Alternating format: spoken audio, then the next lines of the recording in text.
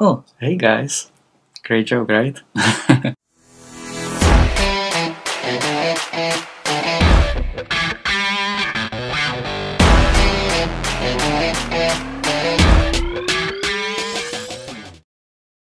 Welcome to Spider Cafe, a place for creepy crawly talk and microphotography. Today we're finally gonna talk about microphotography. Our first request and uh, it's much appreciated so why not oblige right? And uh, thank you tyler t1117 uh, for this request so let's get right to it. I got into microphotography about three years ago and the reason was basically i was admiring some pictures. I was always into bugs you know and spiders and etc snakes uh, but I was always admiring the pictures of macrophotography legends like Dustin Rhodes and Marcus Kahn, and it was basically always out of reach for me until I finally was able to afford the cheapest uh, DSLR. And let me show you which one it was. And I was using it basically all the way to 2019, and it's Nikon D3400 and it's a pretty good camera for beginners. Uh, I would recommend it. A couple of things that I wasn't big on is um, the white balance is a little bit off. And I'm gonna talk about white balance in our part of this video. So that wasn't big, and also it's not weatherproof, which we had like a one panic moment when we went to Costa Rica when everything was fogging up on the camera and basically I wasn't able to shoot and we are there in Costa Rica middle of nowhere and you know I came there to take pictures and my camera is basically useless so that was a big panic. But then I learned that this happens actually with a lot of cameras. Even I assume it could happen with some of the weatherproof ones. And basically, the way around it is you put the camera in a sealed bag, and it can be even just like your backpack, your camera backpack, and you leave it outside. So we left it in a trunk of a car, and basically I was able to shoot again next day and after that every night we would come back I would just leave it in the trunk of a car. Those are a couple of downsides of this camera but you can actually buy it as a bundle with a couple of lenses and I think it's a really good deal. And I'm not really promoting Nikon or Canon or anything. I'm just telling you guys what I use basically. If I would go this route again, I would probably actually go maybe even Olympus because they have the lightest cameras and the smallest cameras and I've seen some amazing results. And again, I want to give a quick shout out if you guys want to check out a really good Olympus photography, go to Jeremy Nature Photography on Instagram and he has some really, really stunning pictures uh, all done with Olympus. My first lens was actually Tokina 100 and it's a great lens. It's a third party lens. It's all manual so you have to kind of learn, you know, manual photography and I'll talk a little bit about my settings too. I really like the lens. It's not very expensive, relatively not expensive. You know, everything in photography is kind of expensive unfortunately. So I was using that for the beginning and for the flash and I continue using that. I'm using right now single head Godox flashlight. I really like it. Initially I had a twin head flashlight and it was good but actually i would go even back to it eventually because you can get some really creative photos and what's great about twin flashlight which you have basically two heads right here of uh, flash uh, you can put them on flexible arms and let's say you have a bug that's under leaf you can place the arm in the right uh, spot where you're still gonna get light.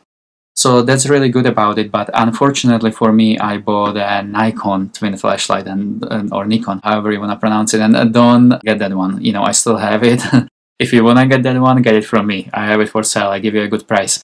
But basically the big big down draw of this one is the batteries. It has just like these batteries that you don't ever find on the market. They're small and it's really hard to find rechargeables. Even if you do you still have to carry a bunch of them with you because you have to replace them. And i think each each head went like three or something like that. So uh, it was just a it was just a pain in the butt. They're a little bit harder to diffuse, also the twin flashlights, because you have to basically attach it to those heads, and it's not it's a little harder than attaching it like to this, but you can definitely get some amazing results. I believe True the Lens uses it. Amazing photographer. Check out this profile. If um, you're not aware of this person, check out his blog. It's it's amazing. You can learn a lot uh, about macro photography and not only that he understands um uh, you know i don't have that background but he understands like you know all these like how light works and everything like that. For me it's just i can give you guys like a breakdown of like uh, how you know i learned.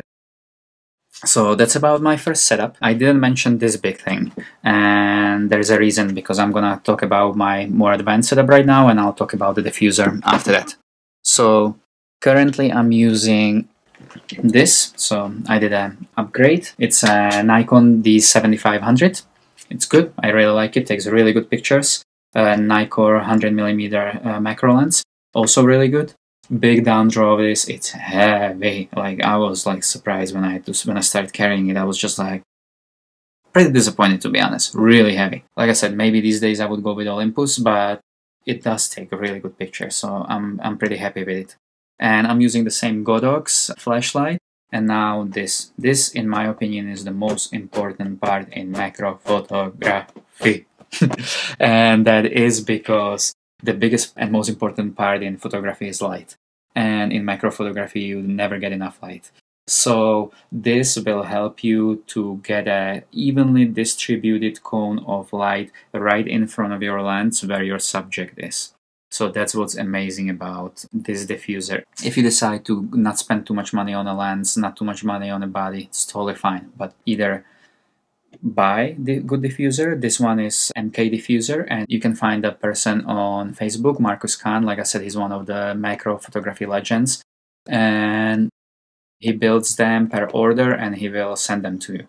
It is a little bit pricey, but uh, I had mine for about two years, and it's still holding strong. I still don't need another one. It's still good. So I highly recommend it. And then there is also Facebook group, macro.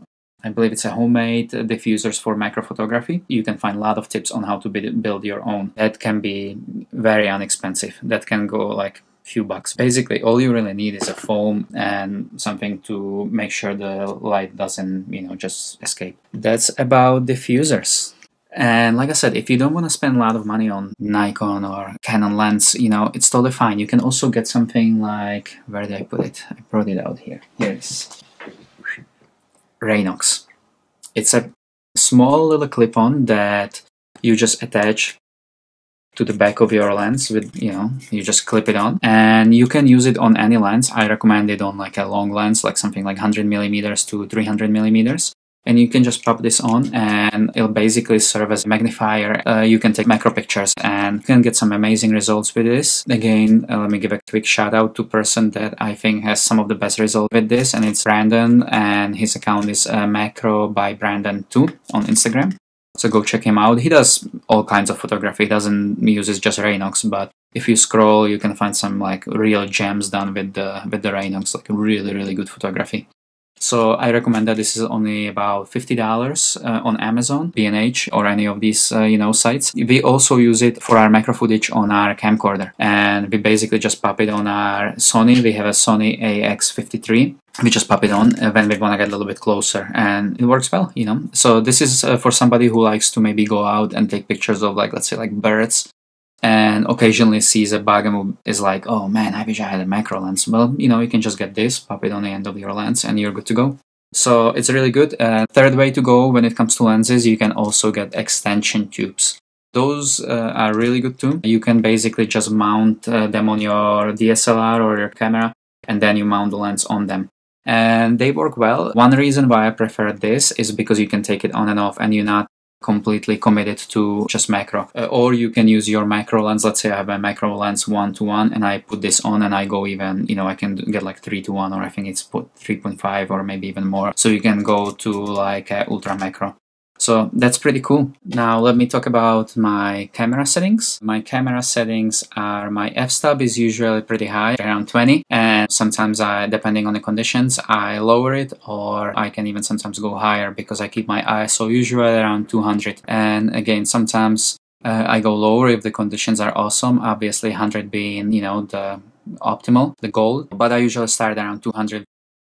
We also shoot at night often, so that's the reason why and my ISO is 200. Let me see what I forgot. One bag. And my f-stop is 1 uh, and then the backslash 200. That should give you enough speed to basically catch even flying insects. So those are my camera settings. Now I shoot handheld. You can also buy a macro rail where you basically uh, put your camera on a tripod, put it on a rail, and then you do small adjustments where you can get your camera closer or farther. It's great, but when you are out in a field and you're shooting insects, you want to go handheld. Even though it's a little bit of a practice, it's a little bit of a technique. Usually what I do, I try to get the eyes in a focus And if the bug is moving or if it's windy, I usually make myself micro adjustments by kind of like waving until, you know, I get it right and then I just do a burst. And same thing I do when I'm doing stacking. Basically, I try to find the closest that I can get in a focus on the subject being closest to me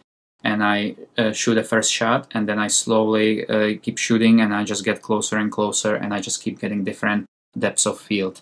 Basically, that's what stacking means. In macro photography, you get very shallow depth of field. What it means is basically like, let's say I'm shooting right here is me and here is a wall and this is the depth of field that I'm getting, right? And in macro photography, you would only get about this much of it in focus. The rest of it would be out of focus. So what stacking means is basically you uh, take a picture of this part, this part, this part, this part, this part, this part, and then you put them all together and you get a one picture out of that.